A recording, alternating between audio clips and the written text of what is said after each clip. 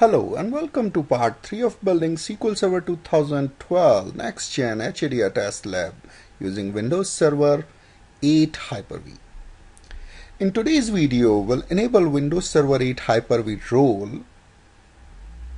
We'll check basic settings, do some network configuration, create parent virtual hard disk with Windows Server 8, and use differential virtual hard disk and finally, we'll create a Windows domain controller. My name is Prakash Heda and I work as a senior infrastructure DB at Advanced Software. You can visit my blog to check these posts as well as the previous videos on the The overall goal to create a virtual SQL Server test lab which you can run from your own laptop or desktop and basically able to test out all the SQL Server Next Gen HADR features. In part one of this series, we talk about if you want to create a low power Windows Server 8 Hyper-V lab or ESXi5 lab about a configuration which I am using. In part two, you learn how to create a virtual hard disk and convert it into a bootable Windows Server 8 partition and then configure its boot properties so system can boot directly with virtual hard disk leaving your existing OS untouched. There were some queries about using Windows to Go features of Windows Server 8, which is a very viable solution. Though at this point, based on my limited testing, I have decided not to use it as being the first beta, it still has some glitches in it.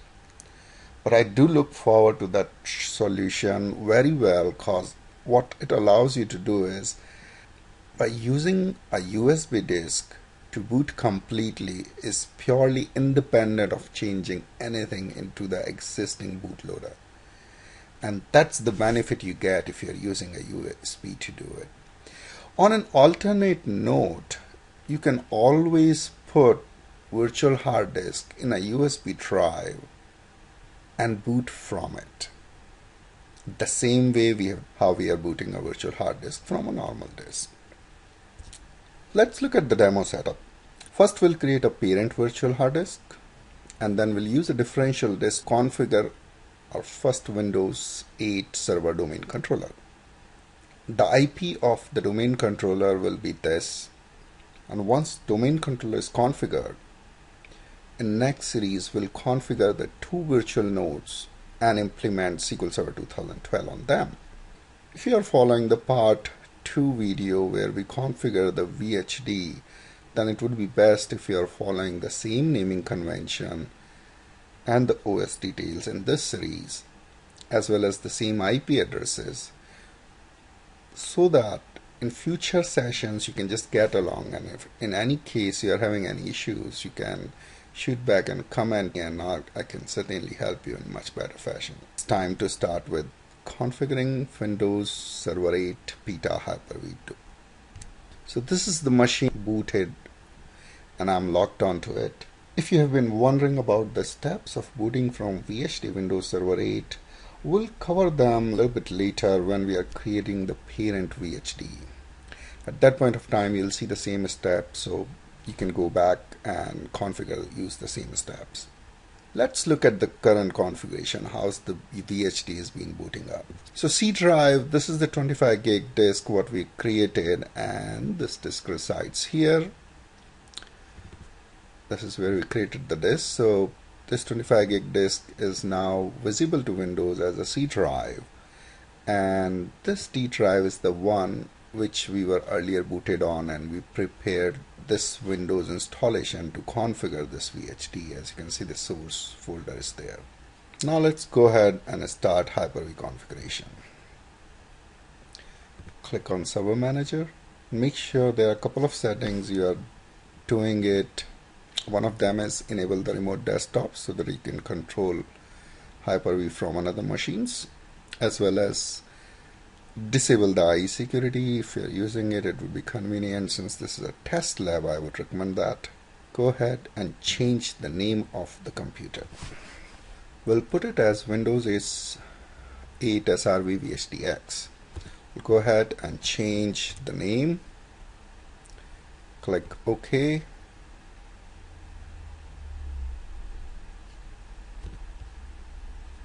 Close and restart the machine okay server is rebooted. I'm back in local manager. Another setting what I would recommend is to configure is to change IP address to static.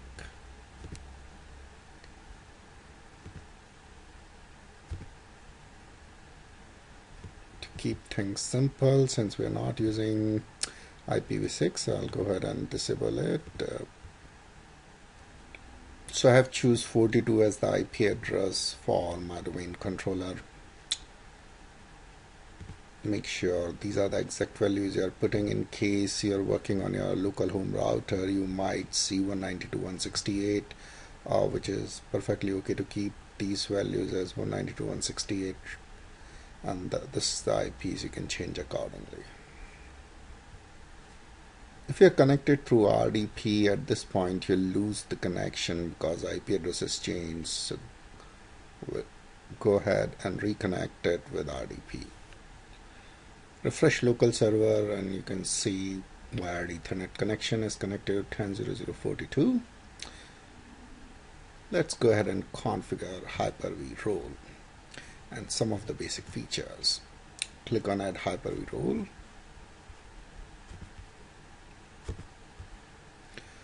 pick the default values.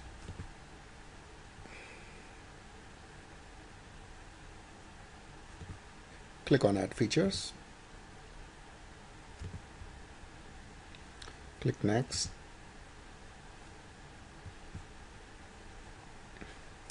Select wired ethernet connection. If you have wireless you can just pick it as usual. Click continue. Choose default. Click next I'll be changing the default settings here as I'm looking to configure the VHDs in a particular fashion and using the child VHDs and differential VHDs and saving all of them on a different drive just in case I have to roll back to this VHD version.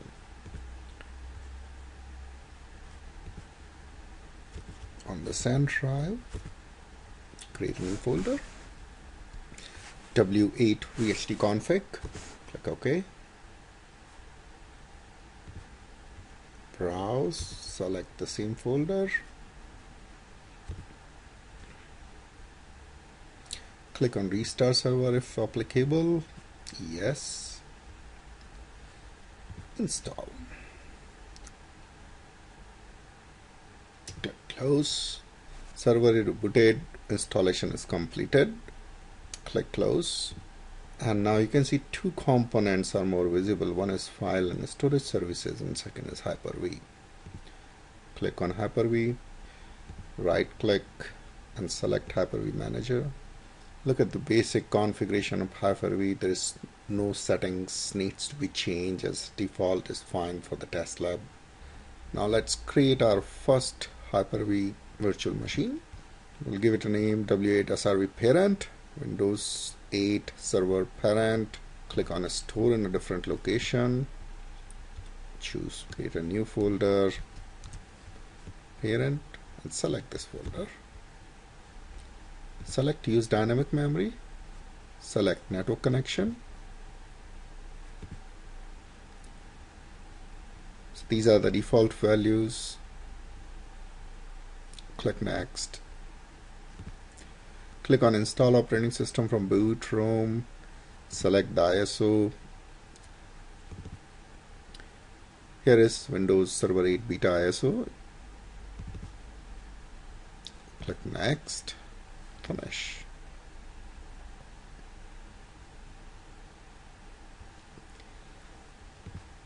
Right click, connect, start.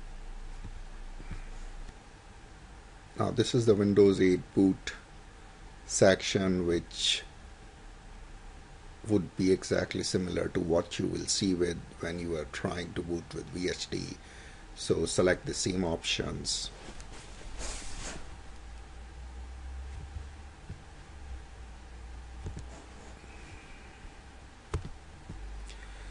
Pick Windows Server 8 Beta Data Center Server with GUI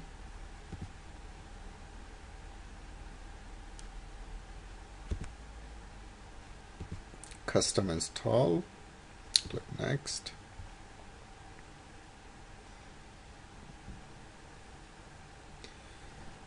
It'll take about 15 to 20 minutes to finish this process. And Windows will reboot once that is completed. So installation is finished. We are back on setting page after the reboot. Put a password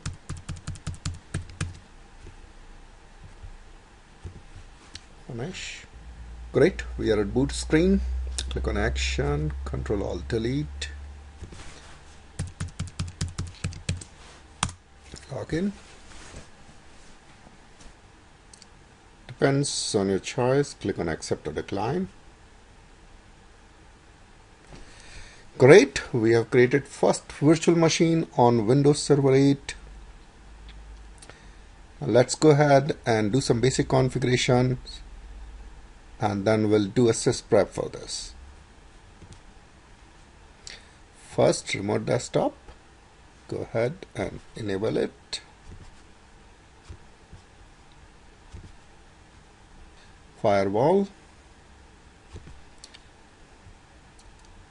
So we're building a test lab, so go ahead and turn off the firewalls this is only for the test lab in production. It depends on how your system supports. You'll see a different way firewall is configured. Close. I configuration. Go ahead disable it. IPv4 I'll go ahead and remove IPv6 now this is the basic image we have. Now let's sysprep go to Windows. System 32 sysprep. Execute sysprep.exe click on generalize change option to shut down click OK. So once the sysprep part is done the system will shut down. So virtual machine is turned off.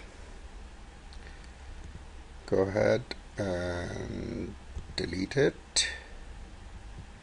Let's check the parent disk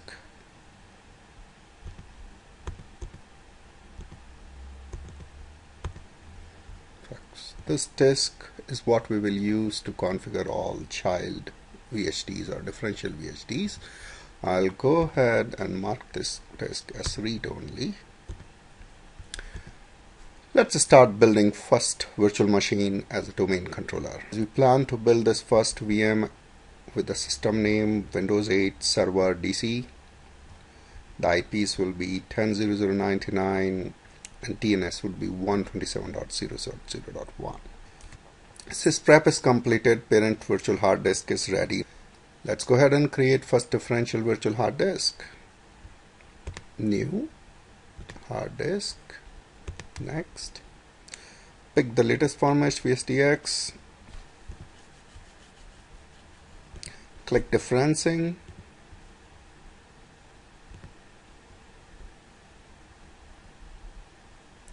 create a new folder called our server name what we are planning to build. Windows 8 server domain controller. Select. Change the names. Select the parent virtual hard disk. So we'll go ahead and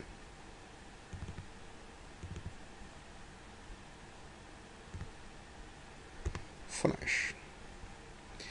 So we created first differential virtual hard disk. Now let's go ahead and create the virtual machine for domain controller.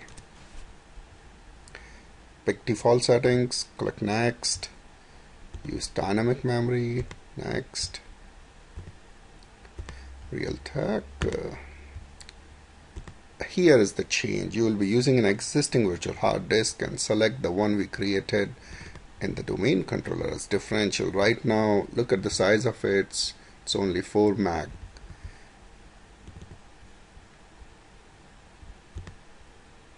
Finish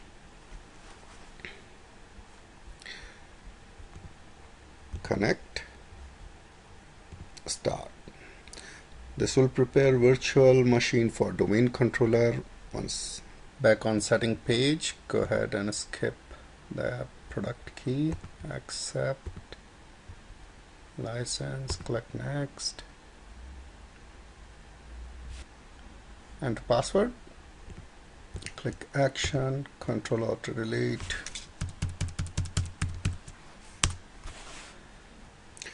Great we are back on dashboard logged on to virtual machine as a windows domain controller.